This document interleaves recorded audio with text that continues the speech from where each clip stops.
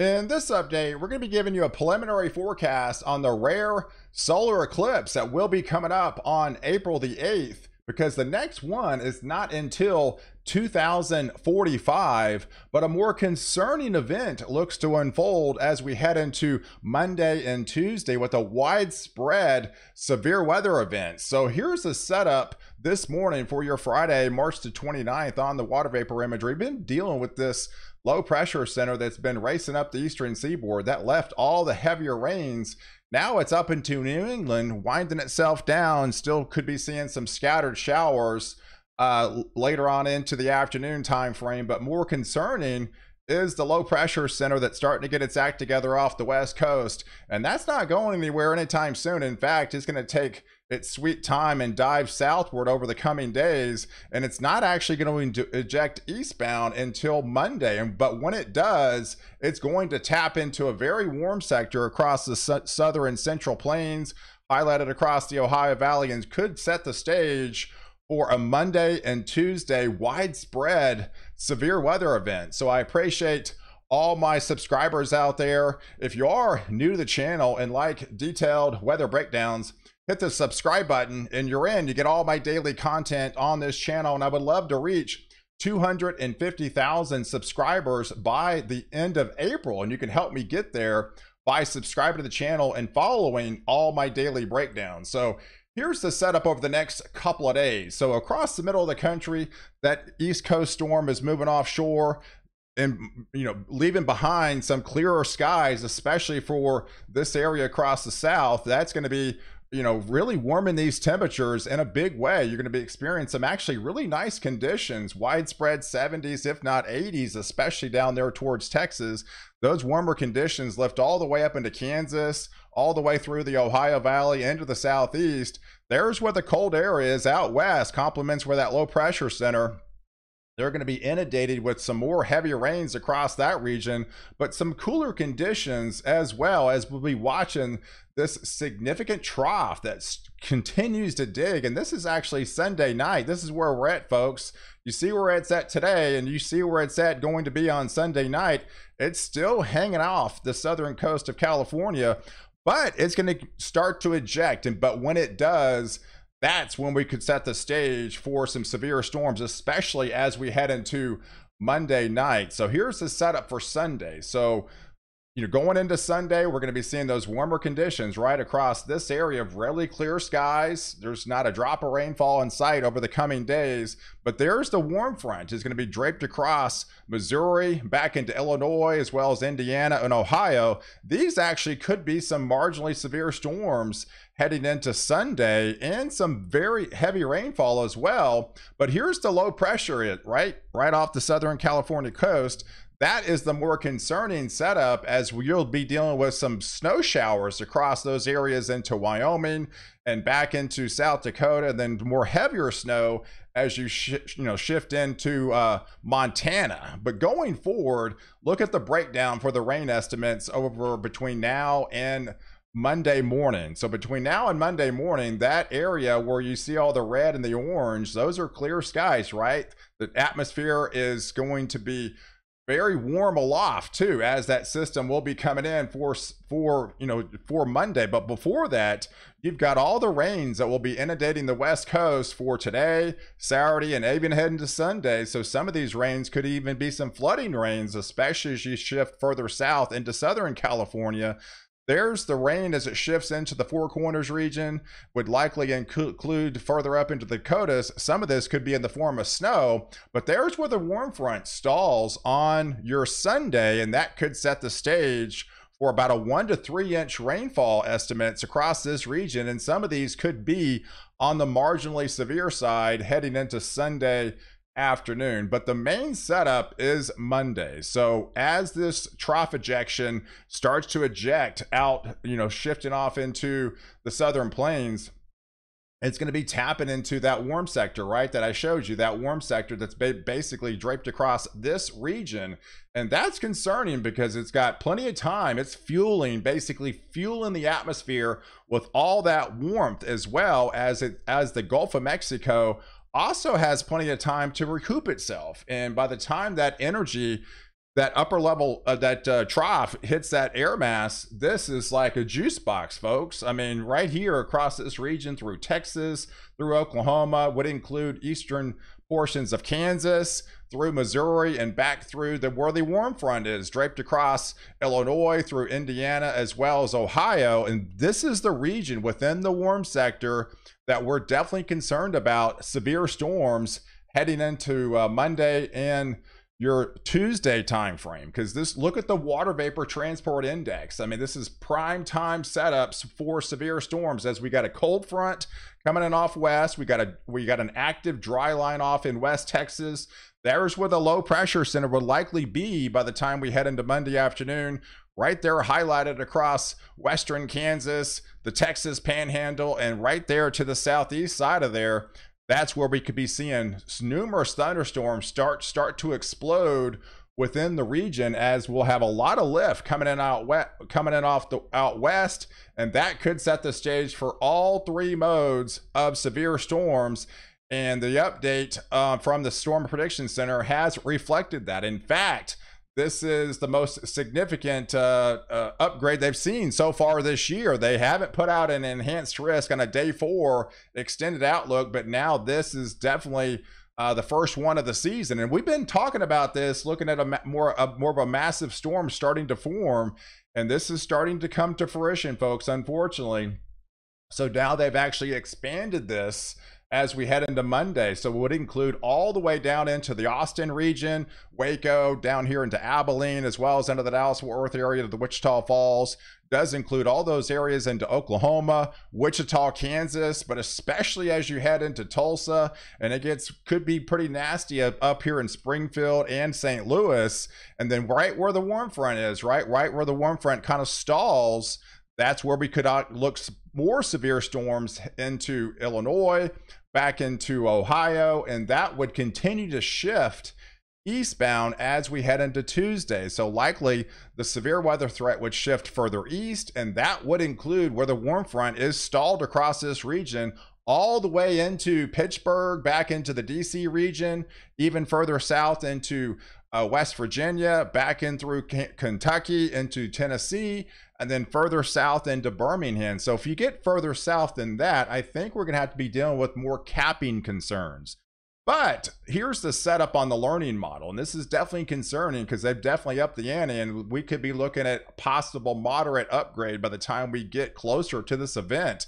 And right around this bullseye where the uh, triple point is, right where the right where the warm front with the cold front leaves and that low pressure center will be continue to shift off to northeast the concerning element right down here into eastern portions of Oklahoma, especially into Arkansas, into Missouri. That is the bullseye area, if you will. And that could extend even further north into portions of Illinois. And then that would shift off into the eastern seaboard, likely with more severe storms setting up shop across Pennsylvania, through West Virginia, all the way through the Carolinas, and extending further south into uh, portions of Georgia. Now, the problem is once you get further south, I do feel because you're away from that cold front and the warm front, you're going to be dealing with more capping concerns. So I think these storms are probably going to be uh, less concerning, if you will, and they're not going to be as severe as you're going to be seeing further north. But yeah, it could be setting up to setting the stage for a big time severe weather threat heading into Monday night as it lights up like a Christmas tree as we head into Monday night. Could be seeing supercell thunderstorms really elongated around this boundary ahead of the cold front all the way through north and central Texas. This could even extend farther into South Texas and then all pretty much most of Oklahoma into southeastern Kansas through Missouri and back through where the warm front is through Illinois and all the way to the DC region. And this would continue to shift off to the east as we head into your Tuesday would likely include those areas in Tennessee, through Kentucky, and back through West Virginia. You could see some storms further south, but again, I feel the capping the cap's going to be a lot more pronounced the further south you go. So I'm not really concerned about that sector. I'm definitely concerned those areas along the warm front and right where the low pressure is into Missouri, into Arkansas, within with this particular event, as well as into southeastern uh, Kansas. But look what happens on Wednesday, folks. That low pressure center continues to race off into the eastern seaboard where you got rain yesterday. You're going to get more rain uh, as you head into Wednesday. But look, it's actually going to be possibly cold enough. Yeah, we're talking April 3rd, folks the snow across this region into Vermont and New Hampshire and, and, a good portion of Maine as well as the low pressure center will wind itself out and wringing out some snow showers in the northern portions of Michigan by then. If you look at the breakdown of where the snow front is, you got the storm system coming off from the northwest, right? So you got the snow showers inundating the interior mountain regions, and there's a swath that could include those areas into the Dakotas through portions of Minnesota. But then you have the backside event with that low pressure center winding it on the backside, could leave a couple of inches in its wake in the northern uh, Michigan as well as upstate New York. And some of these totals could be some hefty totals, especially as you get into Vermont and New Hampshire, and more snow for Maine just gets crushed again. Further north you live and into Caribou could actually maybe pick up a foot of snow from this particular setup. Probably Massachusetts is on the tail end of that of a mixed variety down further south, and especially down there in Connecticut. Probably just a mixed bag, as it's mainly going to be rain. But let's talk about this solar eclipse because once that moves out on the third, right? So we have these systems. We're going into April. We typically it's a very active month, not only for severe weather, but just rain in general, right? Because we have these cold air, warm air, and that's exactly what we're going to be seeing. But ironically, where all the rain has been unfolding for a good part of March, we're actually going to be seeing ridging start to build across the east that is going to set the stage for uh, some drying out period finally for those areas into the northeast. But we are going to be seeing another trough building out west, cooler conditions, almost like a deja vu type setup. And it looks to be active in that same time frame within that zone.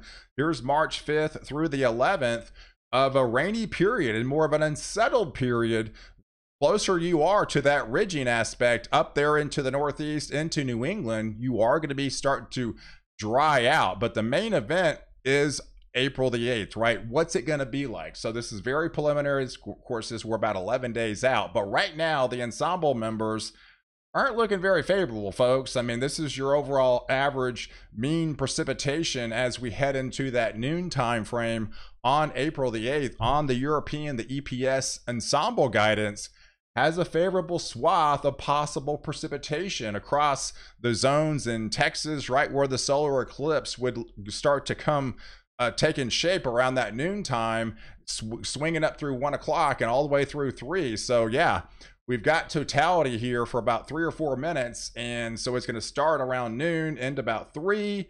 But yeah, that's the more concerning setup. We could have uh, some possibilities of rain in the picture through Texas, through Arkansas as well as in Illinois and Indiana. But the closer you get to that ridge, the more favorable are you have a little bit more clearer skies once you get up into upstate New York and the northern Vermont and into uh, New Hampshire, especially in there into Maine. It could actually be some clearer skies if you look at the overall GFS, the G- GFS guidance as well kind of implies the same thing. So if you live down there in Texas into Arkansas, likely into southern Illinois, into Indiana, through Ohio, you're going to have a probably a harder time. You're going to be timing this system out as it looks to have rain in the picture over that, so could obviously, you know, hinder the viewing of that solar eclipse.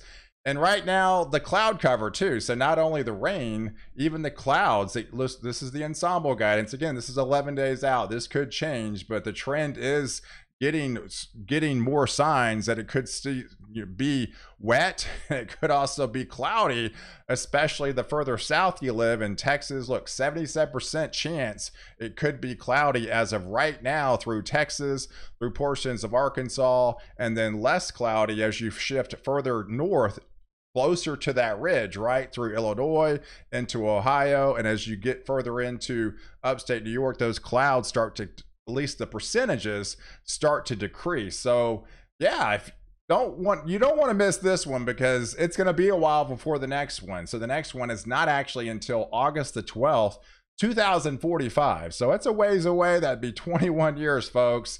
But that's also another total solar eclipse. And with that one, it's going to be in August. So you have a little bit more favorability of probably being warmer, drier, because it's the middle of summer, right? This is April. Typically, showers and thunderstorms would encompass a good part of the country, but nonetheless, here is the path of that one through Northern California, through Colorado, down through th- down through the Oklahoma region, all the way into the southeast, would go into Florida by then on your April, you know, August the 12th, 2045. So, guys, I appreciate you guys uh, watching. I plan on going live on the severe weather threat on Monday, so definitely stay tuned for that.